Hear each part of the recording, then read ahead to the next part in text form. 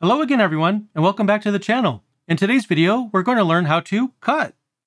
Oh, this isn't the crafting channel? Darn, easy mistake. Well, you know what I could do? I could show you how to use the cut command. It's kind of the same thing, I guess, but it is a useful command that you should definitely know. To help us along, I've created a very simple text file, and this text file I've used in another video, so it might look familiar, but I'm really proud of this one. Not proud of the text file itself, but I am proud of what the text file contains. Anyway, I called it message.txt, so let's take a look at what that file includes. And here's what it says. Learn Linux TV has recently reached 300,000 subscribers. Wow! And that's true, the channel has indeed reached 300,000 subscribers. But actually what I'm going to use that file for in particular is going to be the next example. So what I'll do is type it out and then I'll go over it.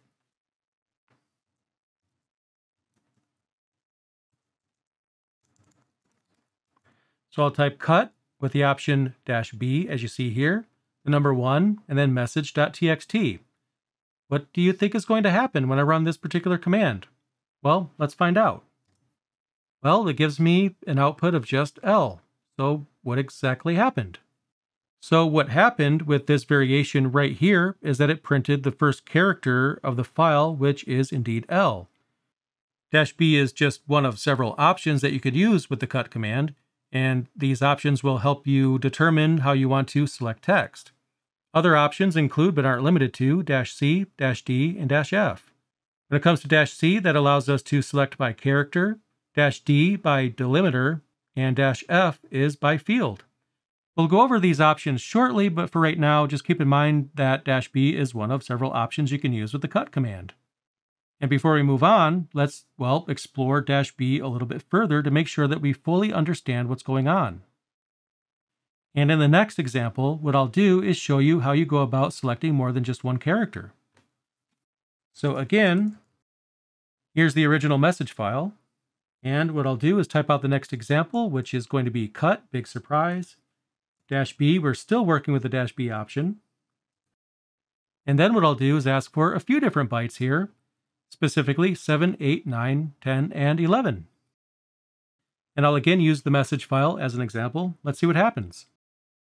And as you can see, it prints out the word Linux. And before I explain that further, one thing I do want to point out is that was not the most efficient way of doing that, what I could do instead is type a range. I don't have to call out every single number in between 7 and 11. If they're sequential, I could type 7 dash and then 11. And that'll give me a range, which is a lot easier to type. And of course, the output is going to be exactly the same. I'm asking for the same bytes, just in a different way. Now in this case, if I was to count out each and every character from the left to the right with the original message, then Linux is going to consist of characters 7 through 11. Now, I didn't ask for characters, I've asked for bytes. But in this case, either way, dash B and dash C will give me the exact same output. And to prove that, I just change the option to dash C, and it prints the exact same thing. So when I type dash C, I'm asking the cut command to return certain characters, and the characters that I'm asking for are characters 7 through 11, and that's where the word Linux is. Now, when it comes to bytes, I've also asked for bytes 7 through 11, and that works because every character is one byte. So regardless of whether I'm asking for characters by bytes or by characters themselves, it's basically the same thing. Now, if every single character was always exactly one byte, then it really wouldn't matter what you use between dash B or dash C. For the most part, the majority of characters that you might ask for are going to be one byte, but some of them are more than that. And that's especially true if you type in multiple languages. There's certain characters that might be, well, two bytes long, and if that's the case, then it's going to throw off the output. With dash C, we're asking for characters specifically, so regardless of whether a character is one byte or something else, it's still going to return the same information. So if you're trying to return characters, you should probably use dash C, but if you are interested in bytes, then use dash B.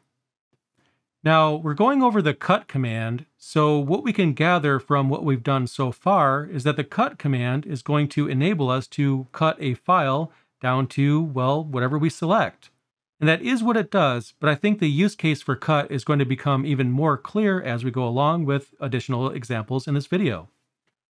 Now, another thing that I'll show you is that you don't have to commit to just a range or individual bytes. You can combine both of those.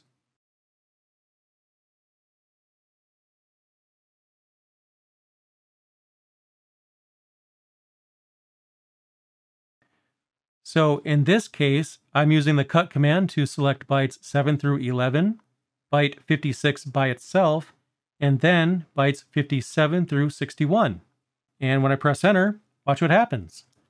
It prints Linux, wow. And with that example, I created an entirely different sentence. Well, almost. Bytes 7 through 11 contain the word Linux, just like we've covered before. Character 56 happens to be a space, and characters 57 through 61 consist of the word wow with an exclamation point at the end. Anyway, what I'm doing here is I'm using the cut command to select different parts of the file, and then by doing so, I was able to create Linux wow, just like that. But that goes to show you that I could call out a range or a single character or some combination of that as I see fit to achieve my use case when it comes to the cut command. Now let's go ahead and see how you go about splitting a file by field. But what exactly is a field when it comes to the cut command? Well, what I'll do is type out the example. I'll use cut yet again, dash F for field this time around. I'll request field 1 as well as field 2. And of course, I'll work with the same exact file. And let's see what happens. Now, the thing is, though, that might not have worked the way that you expected it to work. You might have thought that this was going to print the words learn and Linux, you know, fields one and two, but instead it printed the entire message. So why didn't that work? The reason why the entire line printed, even though we only requested the first and second field, is because we haven't set what's called a delimiter. A delimiter is a special character that we can pass to a command like cut, and this character tells cut how to differentiate fields. By default, it's going to consider tabs as the delimiter, but we haven't added any tabs to this file, so the cut command thinks that there's only one field in this file. However, with the dash "-d option, we could change the delimiter. So here's the previous command. And right before the dash "-f, I'm going to type dash "-d for delimiter. And I'm going to set that to space. I put double quotes around a space to identify that the space character is how cut should differentiate one field from another. And now we get what you might have assumed we would have received as output with the first example. By using dash D, I've changed the delimiter from the default of the tab character to a space, as you see here. And now the cut command is going to think every single word is its own field. Now, as fun as that example may or may not have been, it's definitely not the most practical example. In fact, it's not practical at all. When it comes to the real world, why would you consider using the cut command?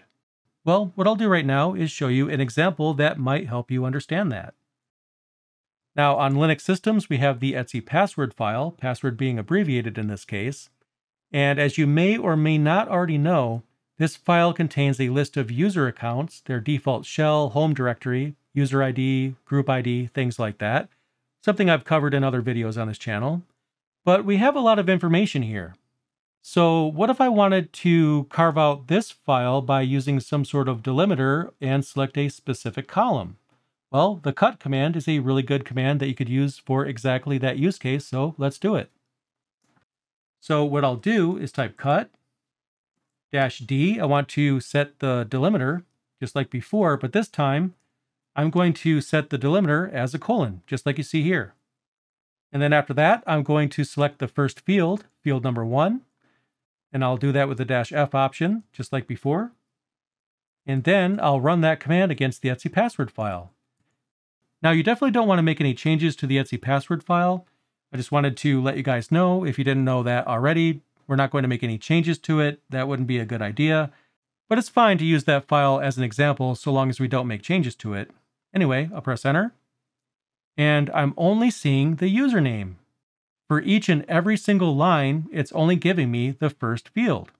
Since I set the delimiter to colon, and that's the command that I used right there, then it's going to consider the appearance of every colon to be a marker for the end of a field and the beginning of the next field.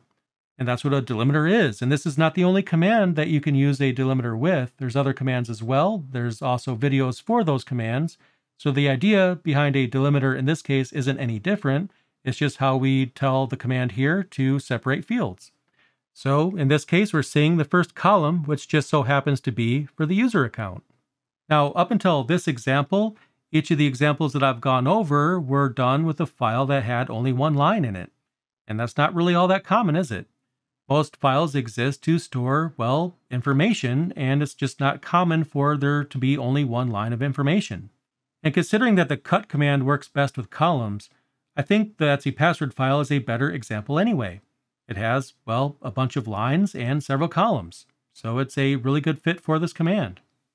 Now, how would you alter the cut command to take into account only one specific line? Well, I could show you a way of doing that, but it wouldn't make sense because that's just not a good use case for the cut command.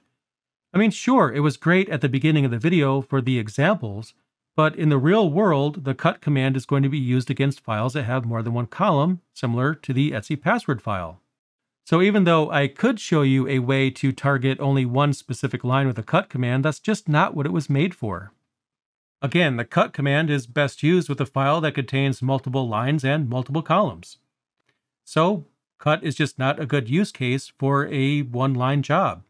But if you wanted to trim a text file by byte, character, or field, then the cut command is a great fit for that. And there you go. We just went over the cut command. I gave you some examples of this command in action, and I hope you found it helpful. If you did, please click that like button and also click that subscribe button as well because there's some really cool content coming to this channel very soon that I can't wait for you to see. Anyway, thanks again for watching. I really appreciate it, and I'll see you in the next video.